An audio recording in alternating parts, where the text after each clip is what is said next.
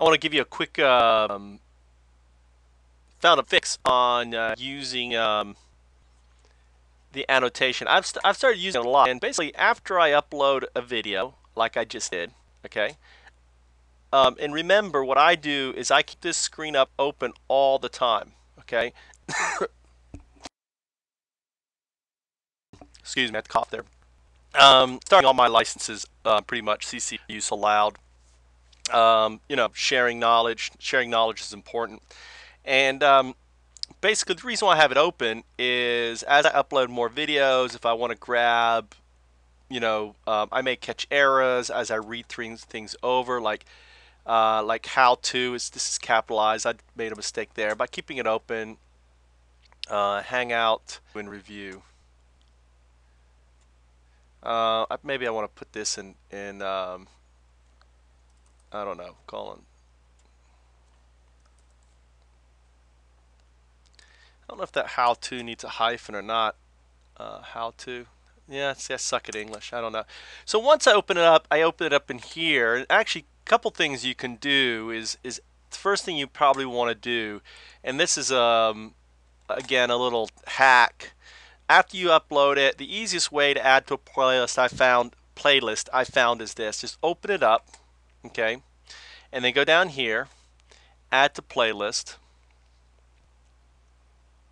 and I add it right here okay to Foundup fix. It's really Foundup TV um, you know so that way it's added to your playlist here. I put a bunch of videos to your playlist.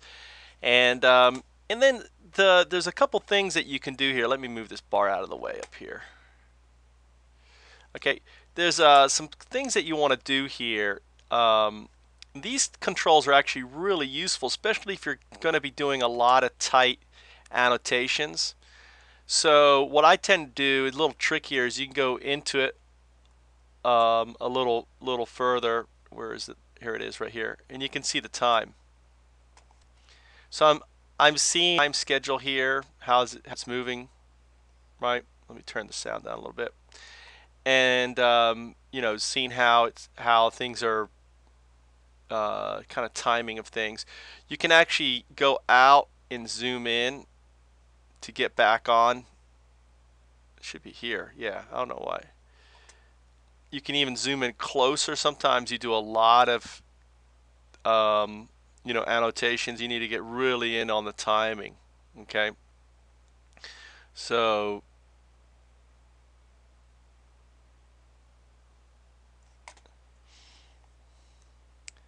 So it, you know, and if you do this now, if you upload videos like I do, you know, um, you can use the uh, speech thing as a way to make a point to things, right? And then obviously save and publish. Don't forget to save and publish. Okay, you've been published. Click here to view it. Um,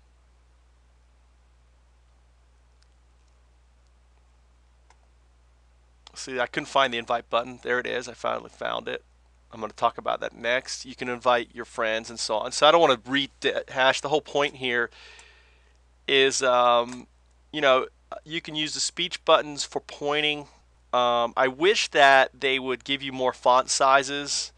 It seems like there also is a bug right now um, that's affecting the font size. I don't know if it's a reboot issue or whatever.